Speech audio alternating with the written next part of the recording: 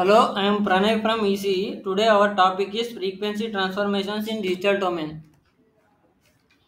Given a digital low pass filter of some passband rates, let's say omega p prime, we have to design another digital filter of any kind. It could be low pass filter whose passband rate is omega p.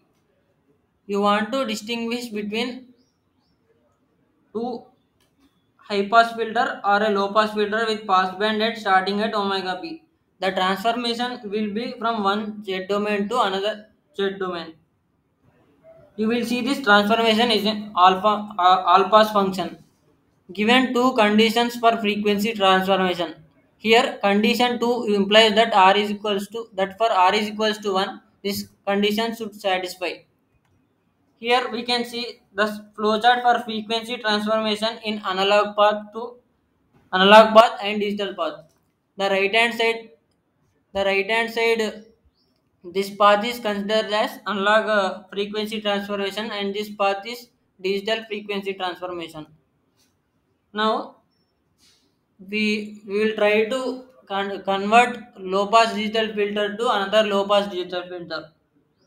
And ar- an arbitrary low pass digital filter whose passband at omega pre, p prime is to be transformed into another filter in which passband at omega p. If we had transformed these low pass digital filters to a corresponding analog low pass filters, then the corresponding frequency omega p prime would have been 2 by t tan omega p prime by 2 and in capital omega p is equals to 2 by t tan omega p by 2.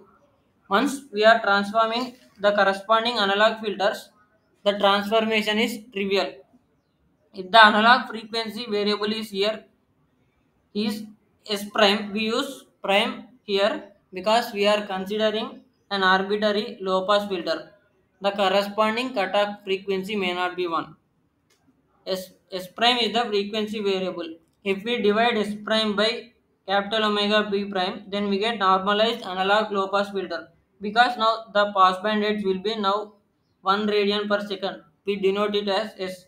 S is normalized low pass frequency variable. That transformation would be from capital S to small s. Here we can see the calculations. The final result will be given like this. Now we are converting digital low pass filter to digital high pass filter. S prime, the normalized analog filter divided by omega p prime which is equal to S should be replaced by capital omega p by S. This is analog to analog transformation. Here we take this multiplication as k to for simpler mathematical calculations.